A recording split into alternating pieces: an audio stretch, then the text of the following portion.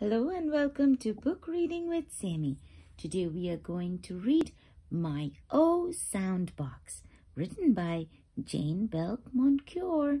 Remember to like this video and subscribe to my channel, My O Sound Box.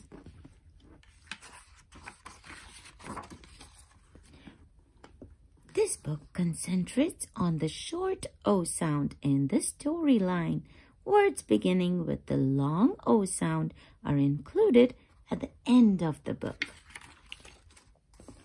Little O had a box. I will find things that begin with my O sound, he said.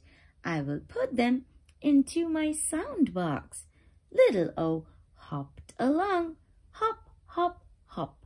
Do you hear the short O sound in hop, hop, hop? He found otters in a pond. Did he put the otters into his box? He did. He put those two otters in the box. Little O found an octopus. Octopus starts with O. Did he put the octopus into the box with the otters? He did. But the otters did not like the octopus. The otters hopped out of the box.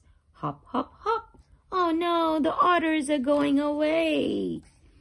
Little O put a top on the box so the octopus could not get out. Then he put the otters on top of the box. Away he went, hop, hop, hop. Then little O found an ostrich. Do you see that ostrich? It's a very big bird.